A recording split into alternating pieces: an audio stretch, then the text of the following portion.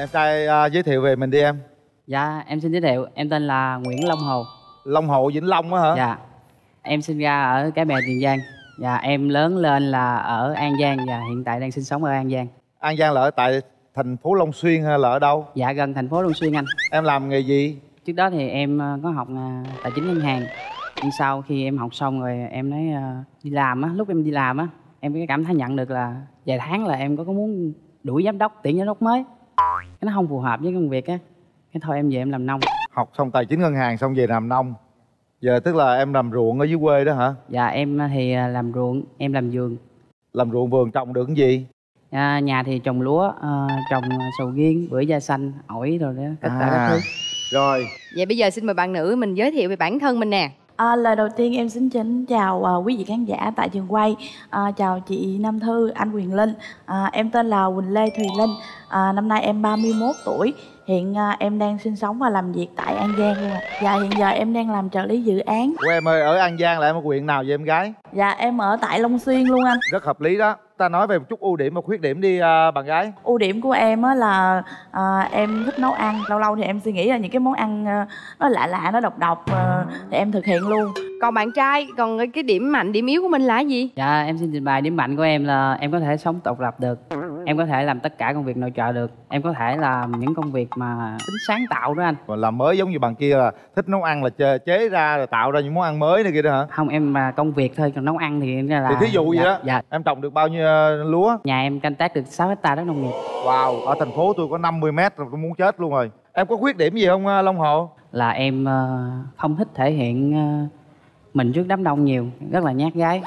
còn bạn gái có khuyết điểm gì không bạn gái Dạ ờ, khuyết điểm của em á thì ờ, thứ nhất là về ngoại hình của em thì nó không có được ờ, xinh xắn như ờ, mấy bạn gái khác lắm. Em tự nhận mình là em không có mập, em chỉ mụm mỉm đáng yêu mà thôi. ờ đúng rồi ờ không sao cả Dạ khi mà ngủ á em hay có cái tật xấu là hay lăn lộn á chị. tới cái tướng em gì mà em lăn là còn ok mà em còn lộn nữa hả À, em, em chỉ lăn qua lăn lại thôi. em hết lăn- hồn hết hồn bạn trai mình à, mình ngủ trên giường mình có nằm yên chỗ không ta Em không xác định được là em có lăn lộn hay không nhưng sáng với sau thì có lẽ là vị trí cũ không còn là vị trí em nằm ban đầu đầu hôm nữa. nói chung là hai bên đứa lăn đứa lộn suốt vậy cũng mệt lắm à bạn gái bạn à, có mấy mối tình rồi Em có được ba mối tình. Cái mối tình gần đây nhất mà cũng ờ, chia tay cũng lâu rồi ạ. bạn trai có mấy mối tình rồi Em ờ, thì trải qua một mối tình ạ, quen nhau cũng được ờ, hơn 4 năm. Bây giờ thì xấu nhưng mà lúc đó xấu hơn nữa. Bạn đi làm thì bạn thấy nhiều người đẹp hơn, lý tưởng hơn, hình mẫu đúng như bạn chọn. em muốn tìm một à, nửa yêu thương của mình như thế nào Dạ đối với em thì em không trọng quan trọng quá về ngoại hình. Ờ, em chỉ ờ, quan trọng nhất ở người phụ nữ đó là trung thủy. Em thì không xăm hình. Nhưng ờ, đối với phụ nữ xăm hình thì em cũng không ngại nhưng mà thật sự thì còn trẻ anh. Xăm hình thì da mình còn sức sống á thì rất là đẹp nhưng khi mà mình lớn tuổi khoảng từ tầm tuổi bốn mấy đến 50 á là da lúc đó lão quá thì nó sẽ xấu nên em nghĩ là không xăm sẽ tốt. Quan điểm cũng rất rõ ràng ha. Còn bạn nữ yêu cầu một cái người yêu của mình về cái ngoại hình thì như thế nào? Ốm cũng được mập cũng được nhưng mà nếu mà ốm thì đừng ốm quá. Nhìn sẽ như giống như số 10 vậy đó. Đừng có cái bụng to quá tại vì em cũng tròn bạn đó cũng tròn. Đôi khi á, là mình á, là có những cái hành động thân thiết á cái có thể là ôm chẳng hạn thì hai cái bụng nó sẽ bị dội lên nhau nó không có sát được. Để chị qua chị coi thử bụng sao. Hỏi coi. Sao vậy? Bụng ở đây ngon cũng tròn do. Được không em dạ anh quyền linh thấy cảm thấy là xứng với em là ờ, được. Không em dễ thương á. Dễ thương. Đừng có sợ tròn bụng tròn bụng bự gì. Đàn ông bụng bự thì sang đàn bà bụng bự. Thì sao cũng anh? sang như thường cũng anh sang như thường. Đúng rồi. Thành ra đừng đừng có lo cái vụ bụng bự hay không. Nhiều. thấy về phong thủy á đúng rồi. rất là thoải mái phóng khoáng. Đúng rồi. về phong thủy rất là ờ, ờ, hoành tráng. Đúng rồi. Là có tươi sáng. của quăng của đệ đó. À rất là dễ thương. Tôi chịu đàn gái đó. Em chào chị Đập Tứ ạ. Anh nhà anh còn anh trai em trai gì không? Dạ nhà em thì em còn thằng em trai nhỏ em 7 tuổi. em em chị thấy được. Quan trọng là sáu mẫu đất nữa. Đàn gái không thích đàn trai cái tật xấu gì nhất. Em không có thích là cằn nhằn với nói chuyện úp úp mở mở anh em có hơi em trai. Em không thích là em không nói luôn. à im luôn đúng không? Thấy chưa? Rồi có cái gì em ghét nhất ở đàn ông nữa không? Hói hói tí hói hói là tóc mới dài. mày không biết xác định là hói hay không hói ta. Hình như nó hói mà nó nó làm luôn hết hói luôn á. Tôi thấy là ok. Đàn trai cho thư hỏi cái ví dụ mình à, mình có có có thích sở thích à, nhậu nhẹt đồ không ha? Tứ đô tường thì em ờ, không có đó không có tham gia vào. Nhưng thật sự thì chia sẻ thì em có nhậu và nhậu rất là nhiều. Nhậu là tức là tủ lượng nhiều chứ không phải là nhiều lần nhậu thích nhậu la cà. Vậy uống được nhiêu chai? bia có thể uống được một kích rưỡi rượu uống được hai lít là đồ mạnh á. Dữ dằn luôn á Nhưng mà cái mức độ đi nhậu mình có thường xuyên không? Hay chiều giống chiều đi làm về Đi làm lúa rồi vậy về rồi lái gai đồ? Tiệc tùng hay là có sự kiện hay có gì trong gia đình thì ờ, hoặc là bạn bè hay là người thân mời thì mình mới nhậu chứ. Là nhậu nhiều thì cái công việc thì bỏ ai làm chị? Đúng rồi người ta nhậu đám dỗ đám cưới đám hỏi đám quải người ta nhậu thôi. Bảo đảm là bình đàn cai là ít nhậu yên tâm. Anh ơi cho em hỏi xíu là anh có hút thuốc không à À, cái này à, không hút thuốc. Nhỏ lớn giờ không hay dạ tại thuốc. em ghét hút thuốc dữ lắm bạn gái đi với ai vậy dạ em đi với lại mẹ cô và anh ạ Dạ, xin chào à, à, khán giả trường quay. À, xin chào à, MC à, Hoài Linh à, vui vẻ đẹp trai. MC Nam Thư rất là xinh đẹp. Dạ con cảm ơn cô Nhìn thì à, hiện tại thì thấy cũng à, được. Em Linh thì nó rất là giỏi, nó rất là ham học. Hiện tại là nó à, được hai bằng rồi đó. Thạc sĩ nó muốn đi thêm tiến sĩ nữa như vậy á, cháu à, Hồ có à, thể mà tiếp tục để cho con đường của à, em Linh đó à, có được hay không? dạ được ạ. Đó chuyện đó là rất bình thường. Thì muốn học thì cứ học nhưng bản thân con cũng phải học để phấn đấu cho cuộc sống công việc đồ này kia. Nếu em học nữa thì con ủng hộ. Nhiệm vụ của nó làm á thì nó đi suốt một tuần lễ có thể nó đi hết là 6 ngày đó có khi thứ bảy chủ nhật nó có đi nữa. À, như vậy thì con cảm thấy nó ờ, có khó khăn gì cho con không? Dạ con là không có thứ nhất là không quan trọng ngoại hình cũng không có quan trọng vấn đề công việc. Nhưng con đang cần một người phụ nữ là dù cho có thể đi làm ở đâu bất cứ à, yêu xa như thế nào hoặc là lập gia đình mà hai vợ chồng không có thể gặp nhau được nhưng vẫn phải trung thủy. Thí dụ con làm nông em nó đi làm việc vậy thì à, gia đình con với con có thấy nó có rắc rối gì cho con không? Dạ bản thân con thì con không ngại tại vì à, mỗi người mỗi công việc con nghĩ là sau công việc thì vợ chồng gặp lại thì có vui hơn hay là xúm xích bên nhau thì mà nó không vui thì cũng vậy à. Nói chung ban ngày việc ai nấy làm miễn Dạ. sao tối ngủ chung là được đúng không? Dạ. Cô ý thích của cô là muốn làm sao thí dụ như vậy đó thì à, chú rể thì cũng phải à, à, thương vợ à, biết à, cha mẹ biết nói chung là đạo đức thật là tốt đó. À, thấy ra đề ra nhiều quá phải không à, con nói thật thì con con cũng làm làm con. Em mà có đi lấy chồng thì bản thân cô cô cũng phải kỳ vọng về rất là nhiều về con rể. Tại vì bởi vì người đó là quyết định là hạnh phúc của con của cô đến cả đời. Đó những là đòi hỏi là tất nhiên và tất yếu thôi không có gì là sai lầm hết. Rồi hay quá. Giỏi quá Hay trả lời xuất sắc. Em trai đi với ai? Dạ em đi với mẹ với anh họ ạ. À có mẹ nữa. Dạ con chào cô ạ. Em, em xin chào chương trình và chào MC Quyền Linh và Nam Dạ. Thư. Tam tòng tứ đức đó là đương nhiên, ai cũng mong muốn. Nhưng mà đối với tôi chuyện đó quá xa xưa. Công việc làm ăn của con tôi sẽ ủng hộ. Tôi sẽ tạo điều kiện cho con bằng mọi tư cách. Tôi không mong muốn con tôi ưu đãi ưu ái tôi một cái gì, chỉ biết tôi là một người mẹ, chồng tôi là một người cha. Đó điều đó là tôi mong muốn nhất. Ốm cao dễ thương mập lùn quý phái đó là phe của tôi. Đại diện nhà trai nói gì với nhà gái thế nào? Tôi là nhà trai tôi bước đó tôi xin có trách nhiệm với con chịu nếu hai đứa nhỏ thương nhau. Ai, thương quá dễ thương quá. Nói chung là gia đình mình là ở dưới là vui rồi đó. Kéo rào luôn cho tụi nó gặp mặt. Về với an giang luôn.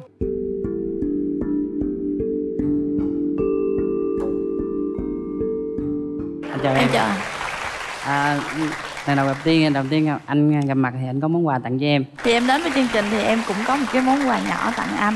Thì ờ, em có thể mang cho anh được không ạ? Để cây xuống để cây xuống đi. Đeo đi. Đó hai cái mặt sát nhau rồi hung nhau bất ngờ đi. Được, anh cảm ơn em anh cho em hỏi là anh ở Thời Sơn là anh ở xã nào ạ? Xã Vĩnh Khánh em. Tại em cũng có đi công tác ở khúc đó. Khi kết hôn xong á em nghĩ là em sẽ sống ở đâu em em sống với ba mẹ em gái và dì và bà. Bà đang bệnh cho nên là nếu mà được á thì là ờ, em muốn ờ, ở gần gần ngoài Long Xuyên có thể phụ tiếp mẹ chăm sóc cho bà. Thì em cũng đi làm nhiều rồi em nói vậy thì anh rất là đồng ý. Nhưng mà em có ngại là khi ờ, tại vì công việc của anh thì anh phù hợp với đó anh về anh làm đó rồi.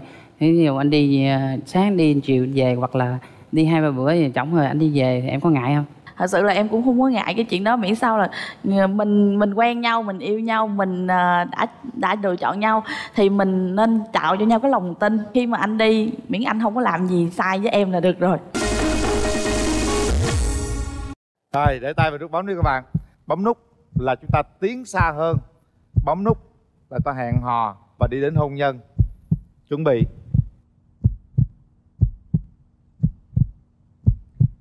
Ba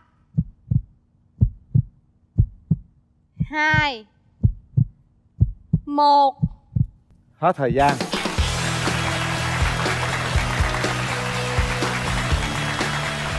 Hai bạn nắm tay nhau nào. Xin phép bác mình hôn ờ, em gái đi. À, dạ cho con xin ờ, phép được ờ, hôn em một cái ạ. bác ủng hộ. Dạ con cảm ơn ạ. yeah. chúc mừng hai bạn. Rõ ràng không ạ?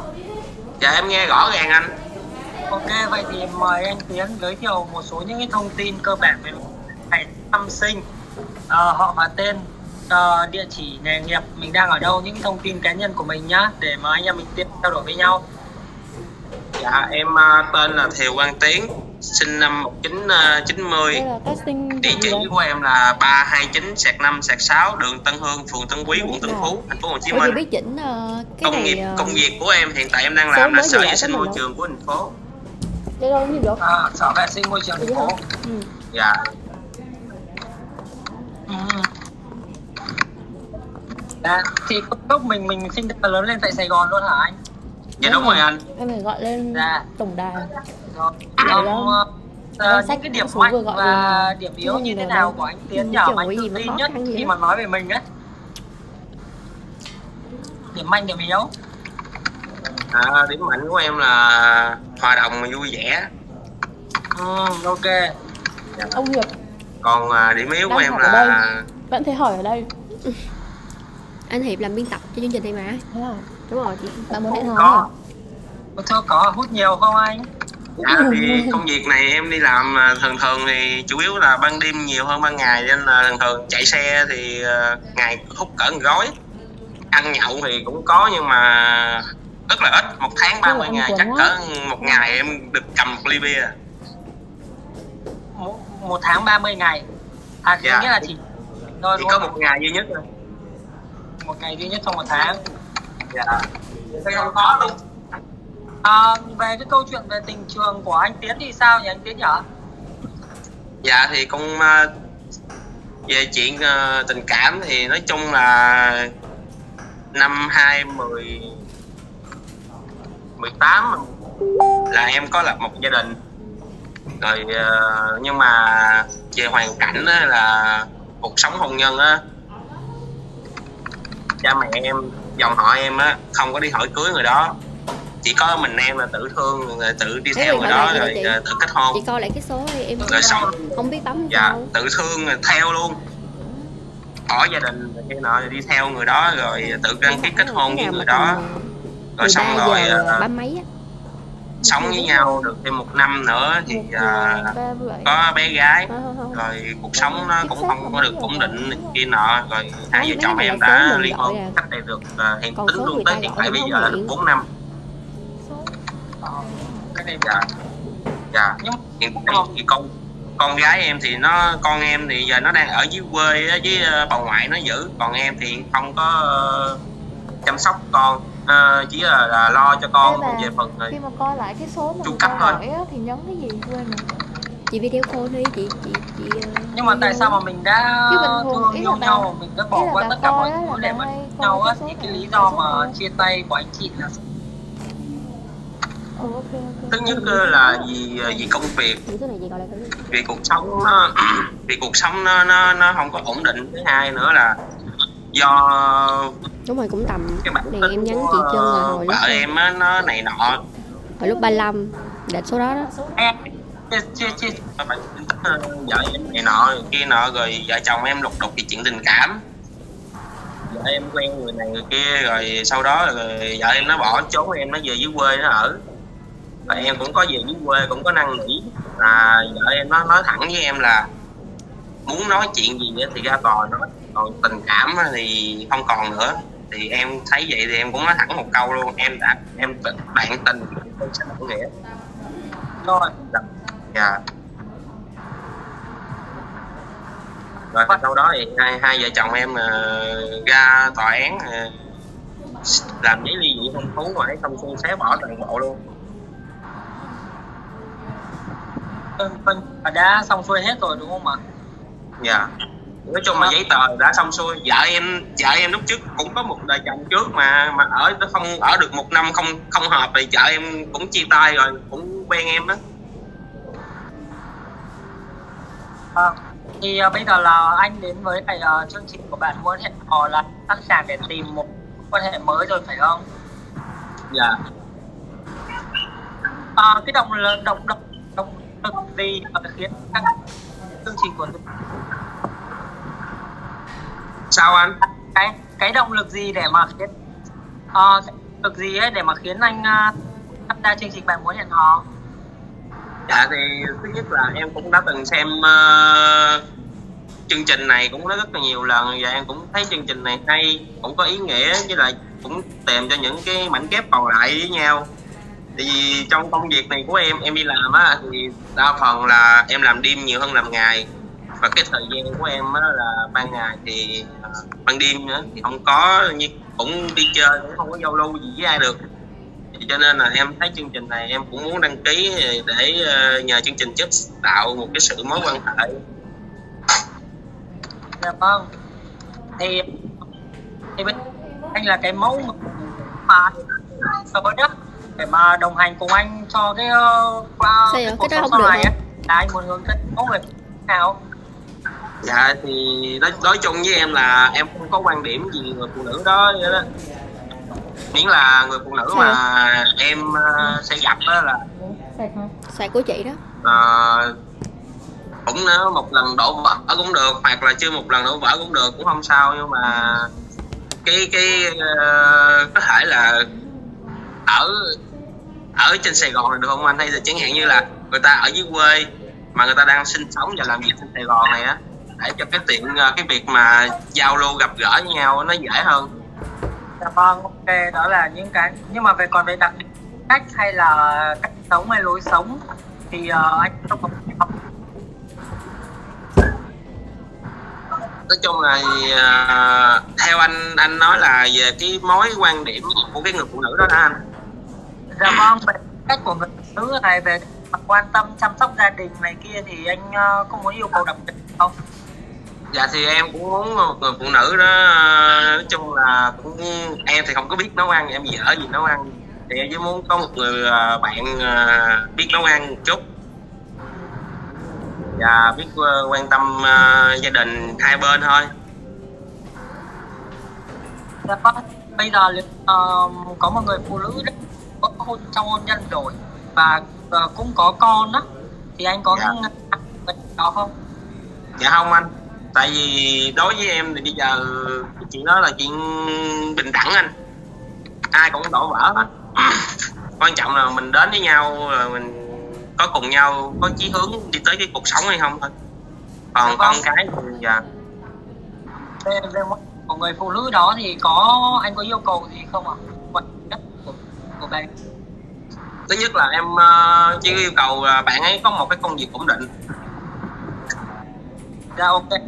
dạ ổn định với lại bạn ấy có thể ờ, biết nấu ăn và chăm sóc gia đình là được rồi à. còn về ngoại hình thì em không có ờ, quan điểm là như thế nào em chỉ cần người ngoại hình là vừa được thôi được rồi được rồi Dạ vâng.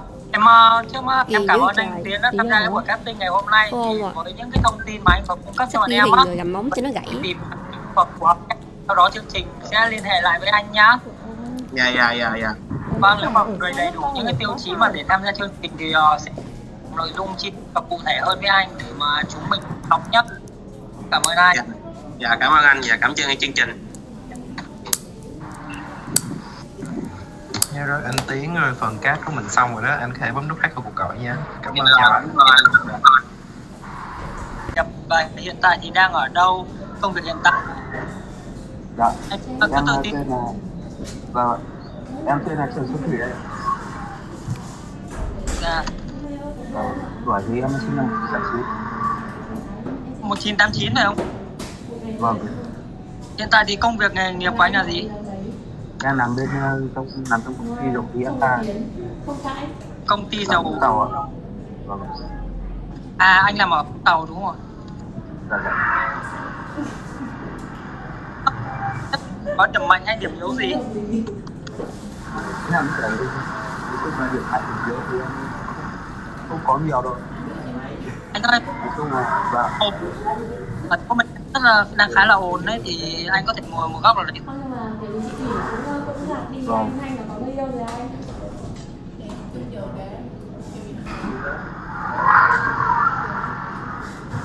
Ừ, còn gì đâu anh? À, mà, à nhưng anh anh tự cảm thấy mình có cái điểm mạnh gì ví dụ như là có tập trường gì? Của bản thân mình. Điểm mạnh thì em chưa hiểu điểm mạnh như nào. Có thân thể nào là như nào không ạ? À có em nói chung là em chơi mỗi cầu lông này không anh có phải anh là về ờ, về cái tính cách của anh như là hi- hiền lành hay là nóng tính hay là trầm tính hay là Cái của em thì hiền hiền lành. Anh là hiền lành rồi. Nói. Anh đã về những câu chuyện về tình trường thì trước giờ anh qua ờ, mấy mối tình rồi. À, em có hai.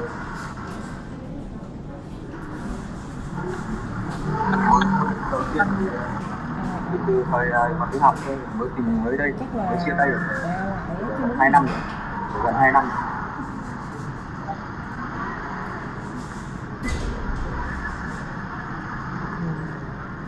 Năm. Dạ. Dạ, Yếu. dạ lý do tại sao chia tay à? À thì hai bên không hợp nhau. Chia tay. Anh có thể cái người đấy. Người đấy là có thể chia sẻ cứu dùm em được không? Còn với cả cái người đấy là có có có con rồi là đưa gia đình em.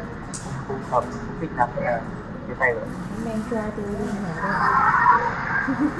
Tối của mình rất là ồn đấy, nhưng bọn em không nghe được thông tin của anh ấy.